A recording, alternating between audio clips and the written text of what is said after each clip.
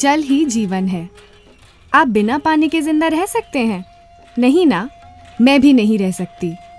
अगर आप चाहते हैं कि मैं हरी भरी रहूँ और आपको अच्छी फ़सल दूँ, तो आपको भी मेरी समय समय पर सिंचाई और निकौनी करनी पड़ेगी। अब आप सोच रहे होंगे कि सिंचाई ये कौन सी बड़ी बात है? जो मैं आपको बता रही हूँ वो बड़ी बात है।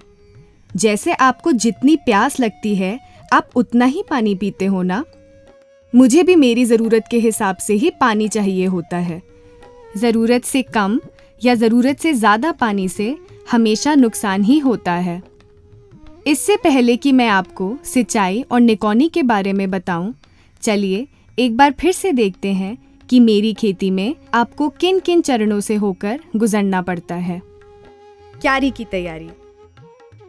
बीज का उपचार बुआई और क्यारी का रखरखाव। खेत की तैयारी, पौधों को जड़ से उखाड़ना और खेत में रोपाई, सिंचाई और निकौनी, कीट और रोग नियंत्रण और फलों की तुड़ाई। चलिए सबसे पहले देखते हैं कि दीदी को पिछली वीडियो, पौधों को जड़ से उखाड़ना और खेत में रोपाई की कितनी बातें याद हैं।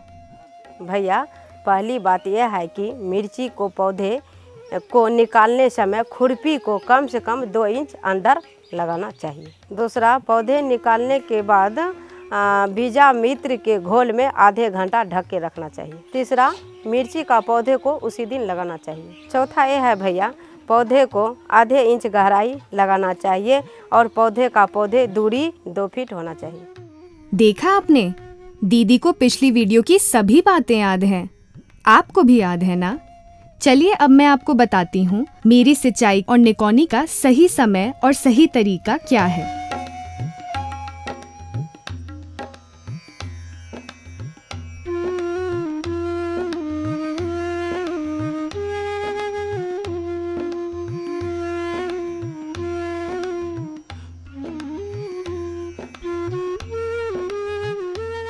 भैया हमें ध्यान रखते हैं निकौनी के समय खरपतवार जब बड़ा हो जाता है तो इसको बाहर निकाल देते हैं या छोटा रहता है तो इसी मिट्टी में मिला देते हैं। हाँ दीदी ऐसा करने से कुछ दिनों के बाद वह खाद बन जाता है और पौधों को पोषण मिलता है।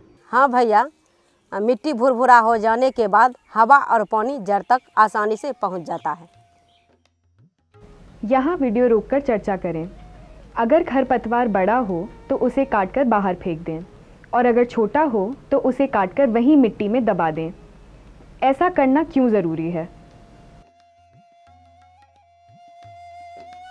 बिल्कुल दीदी निकौनी करने के बाद ही सिंचाई करनी चाहिए। आपका पूरे खेत निकौनी हो चुकी है। देखिए तो कितना सुंदर लगता है। हाँ भैया हमें बहुत इसको देखभाल करते हैं। गर्मी के समय में पाँच या सात दिन में सिंचाई करते रहते हैं। हाँ दीदी गर्मी के मौसम में पाँच से सात दिन और जाड़े के मौसम में दस से बारह दिन में एक बार ज़रूर सिंचाई कर देनी चाहिए। हाँ भैया बरसात के मौसम में ज़रूरत के हिसाब से हम सिंचाई करते हैं। दो दिन पहले बारिश पड़ चुकी है हमें अभी सिंचाई नहीं करेंगे क्योंकि खेत में नमी है। बिल्कुल दीदी सिंचाई का संबंध सीधा मिर्च के उत्पादन से होता है। अगर फूल आते समय पर्याप्त मात्रा में ज़मीन में नमी नहीं होगी तो फूल में कमी हो जाएगी और पौधों में पौधों के विकास में रुकावट आ जाएगी। हाँ भैया उसी वजह से मिर्ची का फल जल्दी गिर जाता है। हाँ दीदी खेत की नमी देखते हुए समय समय पर सिंचाई करनी चाहिए। ये बात तो ठीक है भैया। सिंचाई के समय ये ध्यान रखते हैं कि पूरे खेत एक समान सिंचाई हो सके। हाँ दीदी पानी एक जगह ज़्यादा मात्रा में जमा हो जाने के बाद पौधों को नुकसान पहुंचाता है। ठीक उसी तरह दीदी खेत में किसी भाग में पानी कम पहुँचता है तो पौधों के विकास में कमी हो जाता है। बिल्कुल भैया सिंचाई करते समय इन बातों का खास ध्यान रखनी चाहिए। ठीक है जी अभी तो बारिश का मौसम है। दो दिन पहले बारिश हो चुकी है अभी तो ज़मीन में नमी है अभी तो बस सिंचाई करने का कोई ज़रूरी नहीं है अभी चलिए।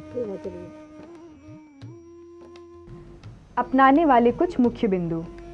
गर्मी के मौसम में 10 से 15 दिनों के बीच में सिंचाई करें। सर्दी के मौसम में 5 से 7 दिनों के बीच सिंचाई करें। बारिश के मौसम में ज़रूरत अनुसार सिंचाई करें। 10-15 दिनों में खेत में जीवामृत का प्रयोग करें।